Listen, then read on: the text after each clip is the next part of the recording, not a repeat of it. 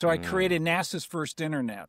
It's Oh, called wow. SPAN, and it exploded in the sense that we were bringing on nodes all over the place. Wow. I can only And so uh, by the end of 1980, I was doing remote file transfer, remote log on. We, we were using computers to do messaging. I could Mhm. look at another computer at Stanford, and here I am at, in Alabama. I could look at a computer at Stanford, see who's on it, and send them a message, and then we could communicate over text. We didn't have to call anybody. So when we wrote proposals, we would write stuff and send it to them, and we could get immediate response. It was just absolutely fantastic. And so the network as a resource exploded. Sure. Not only were we connecting research institutes all over the place, but since I was a civil servant, I could leverage and use NASA's communication infrastructure and Mm. build on it. And so uh, Wow. that network was really wonderful. And we started using it for all kinds of stuff. I mean,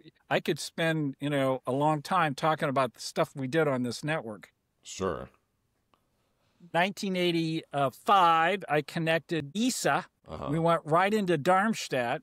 Okay, I got NASA headquarters to pay for an international link, and Wow. they began connecting other universities into what they called eSpan or European SPAN. And SPAN was an acronym that said Space Physics Analysis Network. okay. And then in 87, I connected to JAXA, uh, Okay. the, the Japanese Space Agency. And then 92, we were in Moscow. So all the four big agencies, NASA, ESA, ISAS, JAXA, uh, uh, Roscosmos, were all connected via the network I created.